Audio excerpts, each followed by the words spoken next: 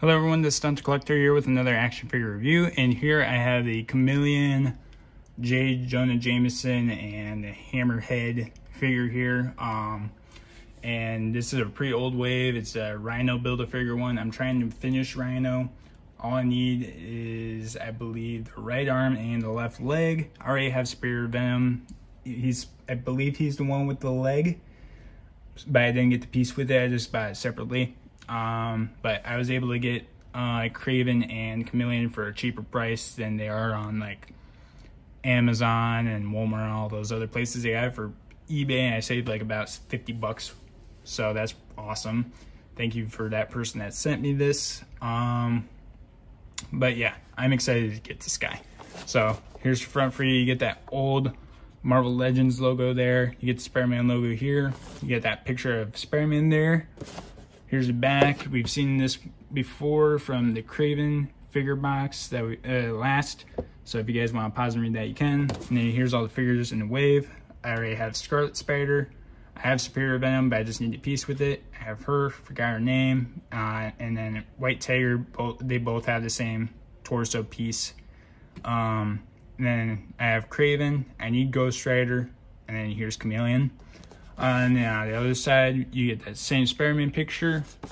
On the top, you get that Spider-Man logo. On the bottom, you get the nothing much uh, besides the DCPI. But besides that, let's crack them open. And here's Chameleon out of the packaging here. So let's go over his accessories. So first, he has Rhino's left arm here, but we'll go over that after I finish the figure on getting the pieces that I need. Um, and then here you get JJ's head sculpt here. You get that nice gray sides there. Uh, he has blue eyes, nice. You get that mustache. He looks like he's yelling. Um, but yeah, uh, he looks a little cockeyed, but it's not that bad. So yeah, it's not as bad as uh, Kraven's uh, eyes, so that's good. Um, and then you get Hammerhead. You get that flat head there. Um, you get the blue eyes there too. He looks pretty serious. Uh, but yeah, and see that they probably missed a few spots for the paint there, but it's not going to bother me a whole bunch. But yeah, like I said, old wave, so obviously there's, there's going to be a little wearing probably. Um, these boxes have not been opened in a while, so. And then you get this little pistol here, which we've seen before, I believe. Um, I don't remember which figures have these, but yeah.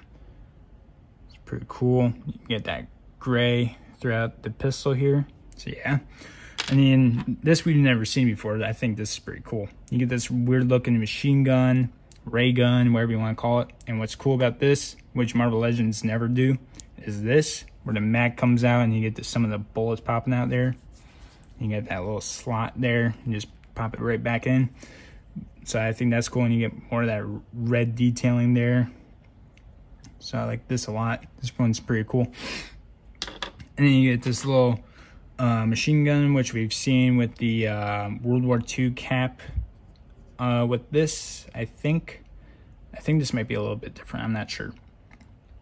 Um, but yeah, you get some of the grips with the brown and for the uh, stock, same brown. Besides that, it's pretty cool. Uh, but yeah, that's all we got for accessories there. Uh, and then here's the chameleon head sculpt here. So yeah, you get some of that blue little wash throughout the figure, like to give it depth. But besides that, the rest of it is white. You get that yellow looking teeth, I guess. So yeah, no nose looking like Voldemort. Um, then you get, yeah, he, uh, Chameleon, someone that you can disguise, disguise as someone else with a mask, basically. That's why it looks like that. Um, but yeah, we've seen, we've gotten this sculpt for the body before. It's from, uh, Nick Fury and Tony Stark, uh, was it 10th anniversary, I believe. So yeah, we've seen this sculpt for the suit before. Just different coloring. So yeah, you get some of that navy blue throughout the suit there. You get the blue tie, black shirt, same blue through the pants, black shoes, and yeah, kind of reminds me of Professor X a little bit actually. Um, but besides that, that's all we got for the um, the sculpt and look there. So let's go over his uh, articulation. So his head can hinge down that far, up that far. That's actually really good. You get him to go left and right. Uh, no head pivoting. His shoulders can move out just not even to 90 degrees actually, but it's a suit. You won't be able to move that much anyways. You get 360 rotation around there. Um, you got bicep swivel, double jointed elbows there. So you can uh, touch his bicep there. His wrists can hinge down that far, not a lot, up that far, 360 rotation around there. Um, he has a ab crunch, so you can go forward that far. Backwards, like zero because the suit restricts it. You got waist swivel, 360 rotation around there. His legs kick kick out that far forward, just actually at 90 degrees, so that's really good. Uh, backwards just a little bit. You got thigh cut. You got double jointed knees. Uh, his ankles can hinge down that far. I like how it goes past the pant there. Uh, up just a little bit. Uh, no shin cut like the Logan figure does. Uh, and then you get nice ankle pivot. Uh, kind of. It's a little stiff there, but yeah, it will pivot. You get it to go inside a little bit. And here's the figure with the hammerhead sculpt there. And here's the figure with the JJ sculpt there. So yeah, I think this is a pretty cool figure. Uh, I think what I'm gonna do is find some of the body sculpts with the dress dressed up look for the figures and just add the head sculpts to those. So that way I just get JJ figure and then a hammerhead figure and then a chameleon figure.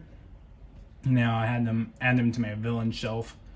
Um, but I'm just gonna find something that's different. I think the chameleon figure works better with this or the uh, hammerhead one. I think the JJ one would work a lot better with the Tony Stark um, body because uh, it's black and white.